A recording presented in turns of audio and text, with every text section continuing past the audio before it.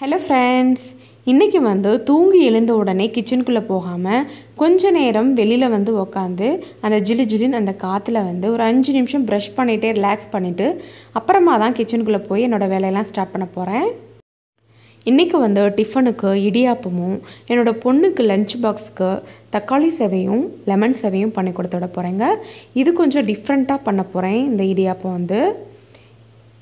இது வந்து பார்த்தீங்க அப்படின்னா காலையில் பண்ணணும் அப்படின்னா நைட்டு பத்து மணிக்கெலாம் வந்து நான் அரிசி ஊற வச்சுட்டேங்க. இது வந்து பொன்னி அரிசி.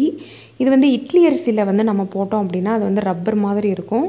இந்த பொன்னி அரிசியில் பண்ணும்போது ரொம்ப அப்படியே மல்லிகைப்பூ மாதிரி இருக்குங்க இந்த இடியாப்பம் வந்து. அவ்வளோ சாஃப்டாக இருக்கும். எவ்வளோ நேரம் வேணால் நம்ம வந்து வச்சு சாப்பிட்டுக்கலாம். அதுக்கப்புறம் பார்த்தீங்க அப்படின்னா நான் வந்து டீ போடுறதுக்காக பால் ஊற்றி வச்சுருக்கேன். இதில் வந்து மத்தியானம் லஞ்சுக்கு வந்து முட்டை குழம்பு வைக்கலாம் அப்படின்ட்டு முட்டை வந்து வேக வச்சுட்ருக்கேங்க. நைட்டு வந்து கழுவி வச்சு இந்த பாத்திரங்கள்லாம் அந்தந்த இடத்துல எடுத்து செட் பண்ணி வச்சிட போகிறேன் அடுத்து வந்து ஒரு ரெண்டு நிமிஷம் கழித்து இந்த மாவு எல்லாமே கை வச்சு சுற்றி இருக்கிற அந்த அரிசி எல்லாத்தையுமே வந்து உள்ளே தள்ளி விட்டுறணும். இந்த இடியாப்பத்துக்கு வந்து பார்த்திங்க அப்படின்னா மாவு வந்து நல்லா வலுவலுன்னு நல்லா அரைச்சிருக்கணும். கொஞ்சம் கூட குரணை இல்லாமல் இருக்கணுங்க. அப்போ தான் அந்த இடியாப்பம் அந்த அச்சில் வந்து பிழியும் போது நம்மளுக்கு ஈஸியாக வரும். பார்த்திங்கன்னா அந்த மேலே இருக்கிற அந்த அரிசி எல்லாத்தையும் நான் எடுத்து உள்ளே விட்டுற போகிறேன் நல்லா தண்ணி ஊற்றிட்டு நல்லா அரைச்சிக்கணும்.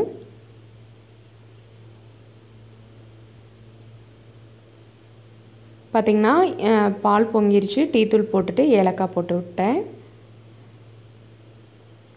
அடுத்து வந்து முட்டை குழம்புக்கு வந்து சின்ன வெங்காயம் உரிச்சுக்க போகிறேன்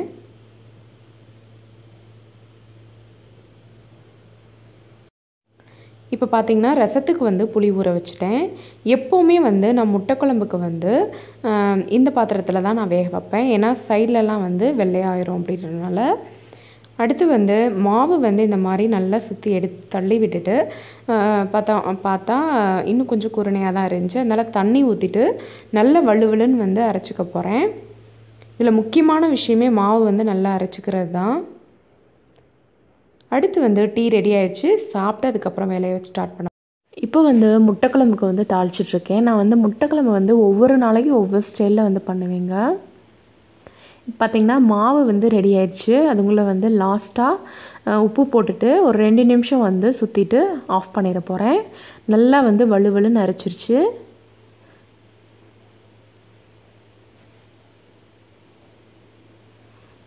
அடுத்து வந்து முட்டை குழம்புக்கு ஃபஸ்ட்டு வந்து எண்ணெய் ஊற்றிட்டு சின்ன வெங்காயம் போட்டு கருவேப்பிலை போட்டுட்டு அப்புறம் வந்து பார்த்திங்க அப்படின்னா இஞ்சி பூண்டு பேஸ்ட்டு அதுக்கப்புறமா தக்காளி போட்டு நல்லா வதக்க போகிறேன் அப்புறமா வந்து சீரகத்தூள் மிளகாய்த்தூள் மல்லித்தூள் மஞ்சத்தூள் கரம் மசால்.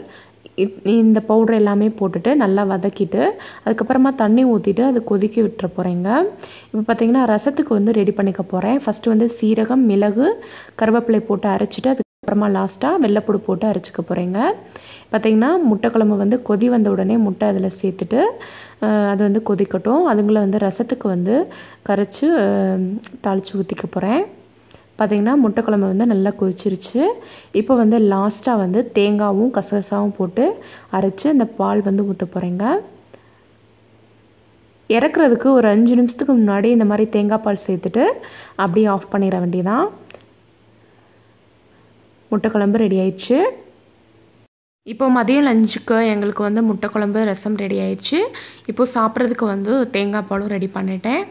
பார்த்தீங்க அப்படின்னா நாலு ஸ்பூன் எண்ணெய் ஊற்றிட்டு இரும்பு கடாய் எடுத்துக்கோங்க. அதுக்கப்புறம் அதில் வந்து நாலு ஸ்பூன் எண்ணெய் ஊற்றிட்டு நான் அரைச்சி வச்ச மாவில் வந்து கொஞ்சமாக இதில் ஊற்றிட்டு இப்போ வந்து சிம்மில் வச்சு இதை வந்து கிண்டி எடுத்துக்க போகிறேன் இப்போ பார்த்தீங்கன்னா சிம்மில் வச்சுட்டே இந்த மாதிரி கிண்டிகிட்டே இருக்கும்போது அந்த மாவு வந்து ஒரு ரெண்டு மூணு நிமிஷத்துலேயே உங்களுக்கு வந்து நல்லா கெட்டியாக மாறிடும் இது வந்து நல்லெண்ணெய் ஊற்றி பண்ணோம் அப்படின்னா நல்ல குழந்தைகளுக்கெல்லாம் அந்த செக்கில் விற்கிற அந்த நல்லெண்ணெய் வாங்கி பண்ணி கொடுக்கும்போது ரொம்பவே உடம்புக்கு நல்லது. பாருங்கள் உங்களுக்கு அந்த இது வந்து மாறிட்டே இருக்கும். ரெண்டு இது வந்து கெட்டியாகுது அப்படின்னு வந்து பயப்பட வேண்டியதில்லை. இந்த மாதிரி நல்லா கிண்டி விட்டுட்டே இருந்தோம். சிம்மில் வச்சுட்டு மட்டும் கிண்டணுங்க உங்களுக்கு இரும்பு கடாயை வச்சு கிண்டினீங்க அப்படின்னா உங்களுக்கு வந்து அடி பிடிக்காது. மற்ற இதில் வந்து சில்வர்லலாம் வச்சு கிண்டும் போது உங்களுக்கு வந்து அடி பிடிக்கிறதுக்கு வந்து சான்ஸ் இருக்குது அதனால் இந்த மாதிரி இரும்பு பாத்திரமாக எடுத்துக்கோங்க. பார்த்திங்கன்னா ரெண்டு மூணு நிமிஷத்துலேயே உங்களுக்கு இந்த மாதிரி மாறிடும் நாம் வந்து தனியாக அரைச்சி வச்சு பண்ணுற அந்த இடியாப்பத்துக்கும் இந்த மாதிரி பண்ணுறதுக்கும் ரொம்பவே நல்ல டேஸ்ட்டாக டிஃப்ரெண்ட்டாக இருக்குங்க. இது வந்து நல்லெண்ணெய் ஊற்றி ஏஜ் அட்டன் பண்ண அந்த பொண்ணுங்களுக்கும் அப்புறம் வந்து பார்த்திங்கன்னா அந்த கை ஏதாவது உடஞ்சிருந்துச்சு அப்படின்னா அவங்களுக்கு வந்து அந்த எலும்பு கூடுறதுக்காக இந்த மாதிரி பண்ணி கொடுப்பாங்க. கோழி குழம்பு மட்டன் கூட வச்சு சாப்பிட்றதுக்காக. இது வந்து நீங்கள் மட்டன் குழம்பு கூட இந்த மாதிரி சிக்கன் குழம்பு இந்த மாதிரி நாட்டுக்கோழி குழம்பு இது கூட வச்சு சாப்பிடும்போது ரொம்ப டேஸ்ட்டாக இருக்குங்க. இந்த மாதிரி கையில் உருண்டை பிடிச்சிட்டு நீங்கள் வந்து இடியாப்பு உலக்கில் வச்சு இப்போது இட்லி தட்டு மேலே இந்த மாதிரி துணியில் வந்து இந்த மாதிரி சுற்றி வந்து இப்போ நான் வந்து பிழிஞ்சு விட்டுக்க போகிறேன் இது பார்த்தீங்க அப்படின்னா எவ்வளோ ஈஸியாக வந்து அந்த மாவு வந்து விழுகுது பாருங்கள் ஏன்னா நம்ம எவ்வளோ தூரம் நைஸாக வந்து மாவை ஆட்டுறோமோ அந்த அளவுக்கு வந்து நம்மளுக்கு வந்து பிழிகிறதுக்கு ரொம்ப ரொம்ப ஈஸி இது வந்து ரொம்பவே ஈஸியான விலங்கு. ஒரு ரெண்டு நிமிஷம் வந்து கரெக்டாக ஒரு மூணு நிமிஷத்துலேயே உங்களுக்கு வந்து மாவு வந்து கெட்டியாயிரும்.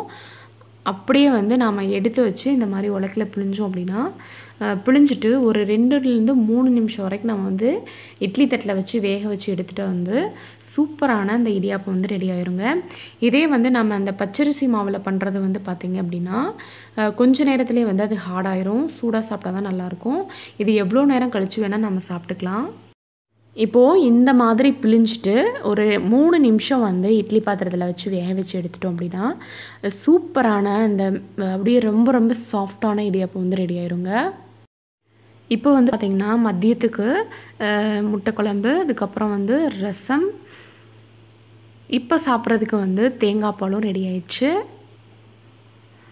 இடியாப்பமும் வந்து ரெடி ஆயிடுச்சுங்க. இது வந்து ரொம்ப ரொம்ப சாஃப்டாக சூப்பரான இடியாப்பம் வந்து ரெடி ஆயிடுச்சுங்க. எனக்கு வந்து அந்த மாவில் பண்ணுற இடியாப்பத்தை விட அந்த பச்சரிசி மாவில் பண்ணுற இடியாப்பத்தை விட இது எனக்கு ரொம்ப ரொம்ப பிடிக்குங்க. இதுலேயும் நம்ம நல்லெண்ணெய் ஊற்றி வதக்குறதுக்கு பதிலாக தேங்காய் எண்ணெய் ஊற்றி வதக்கணும் அப்படின்னா ரொம்ப ரொம்ப சாஃப்டாக சூப்பரான ஒரு டேஸ்ட்டில் இருக்கும். இது வந்து உள்ளே போகிறதே தெரியாதுங்க. தேங்காய் பால் ஊற்றி சாப்பிடும்போது. அப்புறம் வந்து என்னோட பொண்ணுக்கு தக்காளி சேவைக்காக மத்தியானம் லஞ்ச் பாக்ஸ்க்கு வந்து கொடுத்து வர்றதுக்கு கொஞ்சமாக எண்ணெய் ஊற்றி கடுகுளுந்த பருப்பு வெங்காயம் கருவேப்பிலை போட்டுட்டு அப்புறம் வந்து இஞ்சி பூண்டு பேஸ்ட் வந்து ஆட் பண்ணியிருக்கேன் இது நல்லா வதங்கின உடனே வந்து அந்த இஞ்சி பூண்டு பேஸ்ட்டோட இந்த பச்சை வாசனையெல்லாம் போனதுக்கப்புறமா ஒரு தக்காளி பழத்தை ம- மட்டும் நல்லா அரைச்சி ஊற்றி இந்த மாதிரி வதக்கி எடுத்துக்க போகிறேங்க நம்ம வந்து இந்த மாதிரி அரைச்சி ஊற்றும்போது வந்து நல்லா அந்த பேஸ்ட் வந்து நல்லா நிறைய கிடைக்கும். அதனால் ஒரு பழம் மட்டும் அரைச்சி என்னோட பொண்ணுக்கு மட்டும் பண்ணிகிட்ருக்கேன் இப்போ நான்.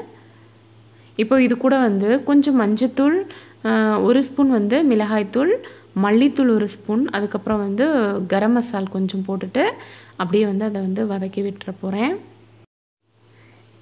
மிளகாய்த்தூள் பார்த்தீங்க அப்படின்னா காஷ்மீர் மிளகாய் தூள் வந்து ஆட் பண்ணியிருக்கேங்க. இது வந்து நல்லா ரெட் கலர் வந்து கிடைக்கும் நம்மளுக்கு.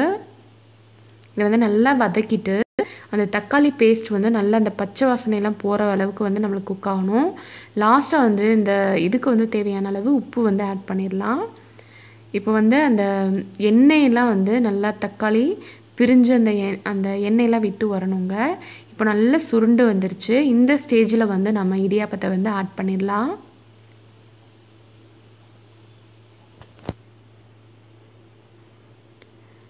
இதில் வந்து பார்த்தீங்க அப்படின்னா எல்லா இடத்துலையும் படுற மாதிரி கிளறி விட்டுக்கணுங்க. இது வந்து ரொம்ப ரொம்ப டேஸ்ட்டாக இருக்கும். இந்த தக்காளி சேவை வந்து. லாஸ்ட்டாக வந்து இதில் வந்து மல்லி இலை வந்து ஆட் பண்ணிக்க போகிறேன் என்னோட பொண்ணு வந்து இது வரைக்கும் நான் அவளுக்கு வந்து நூடுல்ஸ் பண்ணி கொடுத்ததே இல்லை. அவன் நூடுல்ஸ் கேட்கும்போது இதுதான் நூடுல்ஸ் அப்படின்னு அவட்ட சொல்லி வச்சுருக்கேன். அவ்வளோ டேஸ்ட்டாக இருக்குங்க. நம்ம காஷ்மீர் சில்லி ஆட் பண்ணுறனால ரொம்ப கலராக இருக்கும். அடுத்து வந்து லெமன் சவிக்கு கொஞ்சமாக எண்ணெய் ஊற்றிட்டு கடுகுழுந்த பருப்பு பெரிய வெங்காயம் கொஞ்சம் கருவேப்பிள்ளை ஒரு சின்ன பச்சை மிளகாய் போட்டுட்டு அரை முடி லெமன் வந்து இதில் ஊற்றிக்க போகிறேங்க ஊற்றிட்டு உப்பு போட்டுட்டு கொஞ்சம் மஞ்சத்தூள் போட்டுட்டு அது வந்து ஒரு ரெ- ஒரு ஒரு தேர்ட்டி செகண்ட்ஸ் கழித்து வந்து இந்த இடியாப்பம் போட்டுட்டு நல்லா கிளறி விட்டுக்க போகிறேன் அப்படியே வந்து இந்த லெமன் சேவையும் வந்து ரெடி ஆயிடுச்சுங்க. இது வந்து சூப்பரான அந்த ரெண்டும் வந்து ரெடி ஆயிடுச்சு. இப்போது அது கூட வந்து எக்கு வச்சுட்டு க்ளோஸ் பண்ணிட போகிறேங்க அடுத்து பார்த்தீங்க அப்படின்னா பப்பாளி பழம் வந்து ஸ்நாக்ஸ்க்கு கொடுத்து விட்றேன். இது வந்து கொஞ்சம் ஒரு கடலை மிட்டாய் இந்த மாதிரி கொடுத்து